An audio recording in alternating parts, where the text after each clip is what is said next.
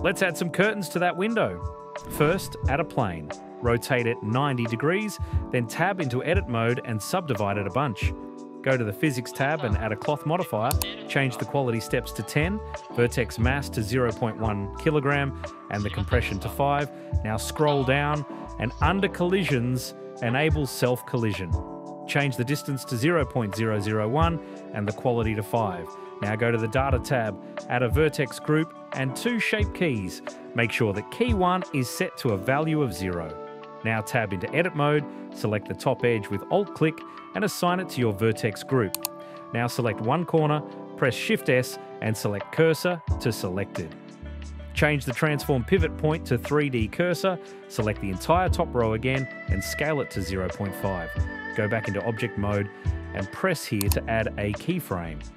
Move along the time frame, change the value to 1 and add another keyframe. Go back to your cloth simulation and under shape, select the vertex group as your pin group. Finally, shade it smooth and watch it fold. You can use other meshes with collision to create some cool folds too.